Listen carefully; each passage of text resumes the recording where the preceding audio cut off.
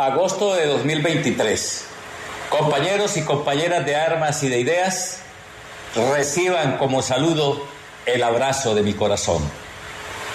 Inicio esta locución tomando de las páginas doradas de nuestro vallenato caribe universal la certeza del juglar magdalenense de que Abel Antonio no muere todavía, Abel Antonio muere cuando Dios lo necesite. Espero con estas palabras disipar algunas dudas. Ante todo, mi reconocimiento a la guerrillerada que en los más variados lugares de nuestro suelo patrio persiste en la lucha y lleva muy en alto las banderas de la justicia social y la democracia verdadera. Celebramos que el gobierno del presidente Gustavo Petro haya logrado llegar al primer año de su mandato en medio de circunstancias por demás complejas, dentro de las cuales son notorias las resistencias de los poderosos, quienes con sus partidos políticos, organizaciones gremiales y medios de comunicación se oponen a cualquier propósito de reforma que afecte el régimen de privilegios y desigualdad impuesto a lo largo de la historia republicana.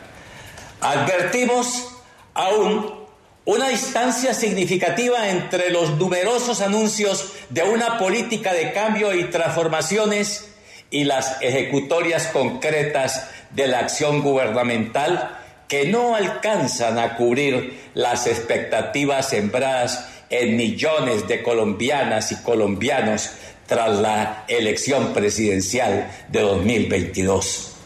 Consideramos que vivimos un momento de intensa disputa por la definición del curso del proceso político, económico y social. Nos encontramos dentro de quienes tienen el propósito de contribuir a impulsar y llenar de contenido democrático, social y popular toda acción que se encamine a mejorar la vida y las condiciones de existencia cotidiana de los humildes y excluidos de nuestro país. Así nuestras aspiraciones mayores se mantengan en el logro de transformaciones sustantivas al orden social vigente y trasciendan la idea de un capitalismo progresista. Hacemos parte también de quienes buscan con su accionar político cerrar a futuro el camino a estrategias de la derecha que se pretenden edificar sobre la búsqueda del fracaso del gobierno actual y trabajan intensamente para ello.